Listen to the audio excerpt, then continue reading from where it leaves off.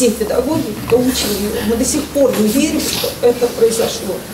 Настолько это был яркий человек, настолько это была яркая личность. У них весь класс был, одни звездочки. Но самая звездочка это был он. Вот для меня он навсегда останется и от лица администрации школы, коллектива нашего, всех учителей, учеников, которые его знают, которые это были наши шефы моего класса, которые от моего класса не отходили ни на шаг. То есть это фактически ну, это наш ребенок. Мы выражаем вам глубокое соболезнование. Огромное спасибо родителям, которые воспитали этого ребенка. И если бы нужно было повторить этот путь снова, я не сомневаюсь, он принял бы опять это же решение.